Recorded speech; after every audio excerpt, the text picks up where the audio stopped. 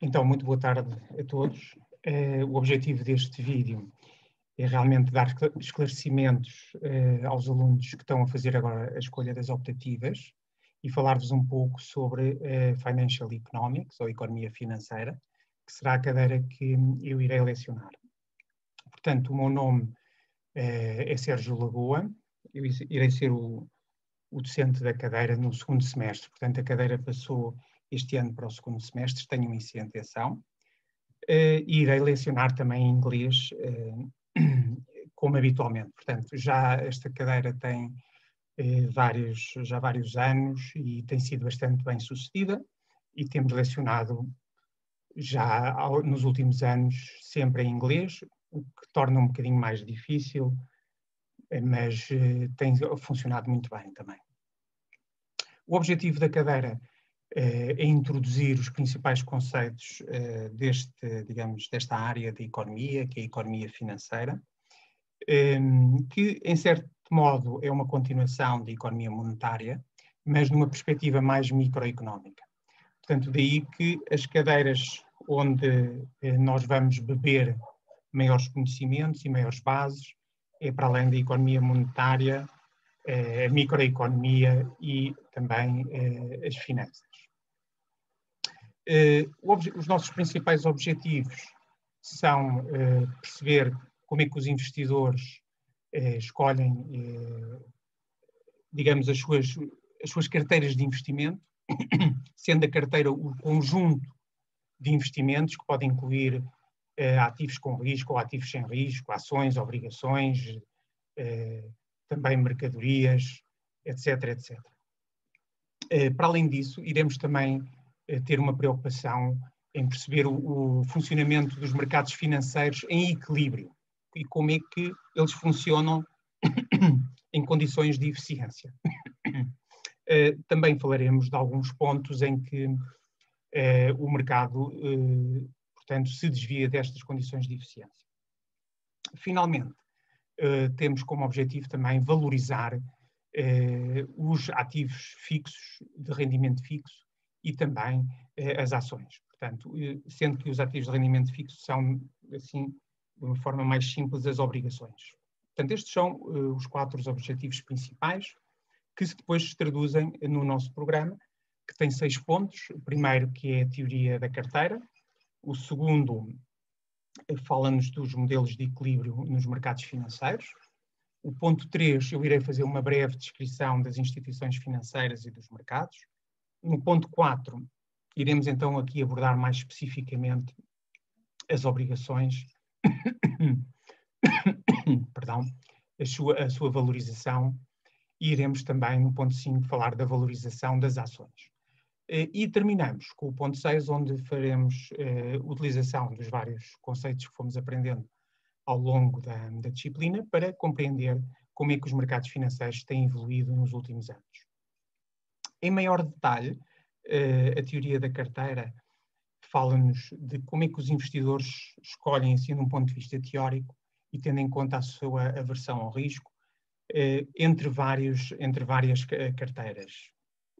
Portanto, aqui é uma abordagem microeconómica em que vamos ver como é que é possível determinar uh, a fronteira eficiente, portanto, o conjunto de investimentos que é mais eficiente para o investidor, tendo em conta um, aqui a diversificação do risco, tendo em conta também o ativo sem risco, que é um ativo muito importante porque permite, de algum modo, uh, diversificar o risco porque a sua rentabilidade é constante.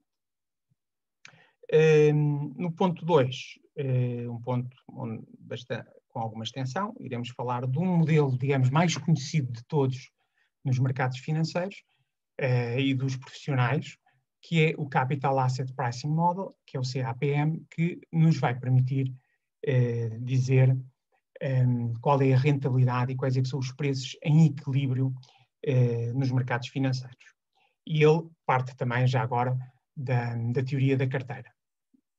Um, portanto, este modelo é muito importante, apesar de ser um modelo teórico que depois é aplicado eh, mais em concreto através do modelo índice de mercado, onde nós iremos aqui utilizar eh, alguns conceitos até da, de econometria e de estatística para uh, estimar um modelo com base nos dados. Um, e, portanto, esta é uma área onde existe um conjunto muito vasto de dados e onde é possível utilizá-los para compreender melhor o funcionamento dos mercados e também das decisões dos investidores.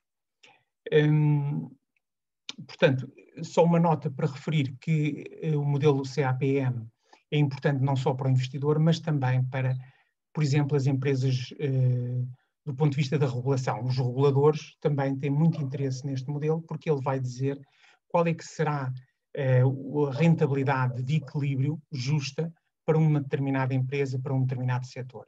E, portanto, permite saber se as empresas estão a ter ou não eh, excesso de lucro acima do que seria justo. Estão a ter práticas que, de algum modo, possam garantir lucros excessivos e, portanto, exijam aqui a intervenção do regulador. Um, daí que uh, esta disciplina também é útil, não só para, numa perspectiva mais utilitarista de, da gestão de investimentos privados, mas também numa perspectiva da economia pública, da regulação das empresas e do funcionamento eficiente dos mercados. Uh, é o mercado eficiente ou não, o mercado financeiro em concreto, e isso tem implicações de longo alcance também na teoria económica.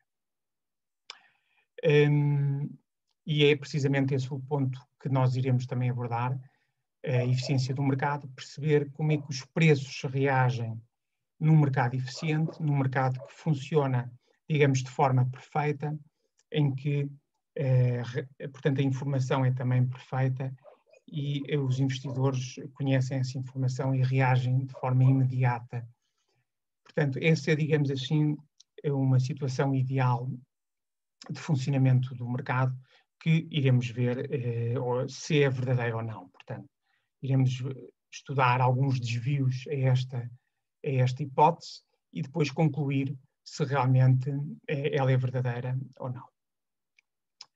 Eh, o ponto 3, eh, eh, que iremos falar também dos vários mercados financeiros, os mercados bolsistas, os mercados fora da bolsa, um, ehm, e tentar também ver o papel dos vários intermediários financeiros que uh, são ehm, mais ativos nos mercados financeiros, como os bancos de investimento, os bancos comerciais e também ehm, eh, os brokers e os dealers.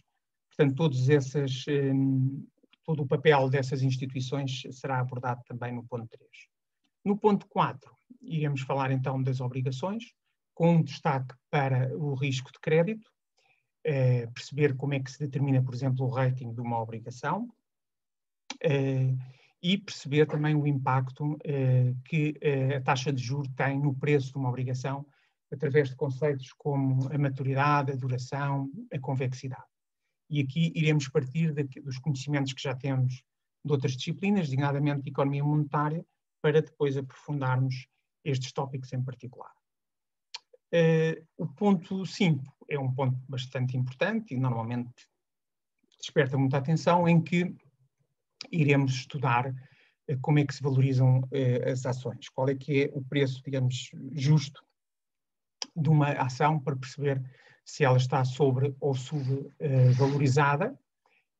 isso será feito através de, de vários rácios, de vários modelos, um deles é o modelo dos rácios, o modelo dos dividendos descontados é outro é, também muito importante. Iremos aqui perder algum tempo em perceber uh, o papel que os dividendos têm na determinação do, do preço da ação. Finalmente, no ponto 6, uh, eh, iremos dar aqui um toque, digamos, mais contemporâneo, mais ligado à realidade, onde vamos estudar as várias crises do mercado bolsista, que ocorreram designadamente eh, até a crise do coronavírus, a crise da dívida soberana, eh, a crise eh, de 2008, a crise de dot-com de 2000, 2001. Portanto, iremos estudar essas várias crises e tentar perceber as razões e as ligações entre elas e, a partir daí, também tirar conclusões sobre quais é que são os drivers quais é são os fatores mais importantes nos mercados financeiros, como seja política monetária, eh, o risco e eh, também o, o, ciclo de negócios. Portanto, estes são os seis pontos que nós iremos abordar nesta, nesta disciplina, sendo que este último será também abordado com a vossa ajuda, uma vez que vocês irão fazer um trabalho que incide também sobre esta questão. Um, e, portanto, vai haver apresentações nas aulas em que um, teremos a oportunidade de discutir estes pontos. Portanto, muito obrigado pela vossa atenção. desejo uh, as melhores felicidades uh, na escolha das optativas e também na persecução dos vossos estudos, agora no terceiro ano. Então, muito obrigado e adeus. Com licença. Então, pausar.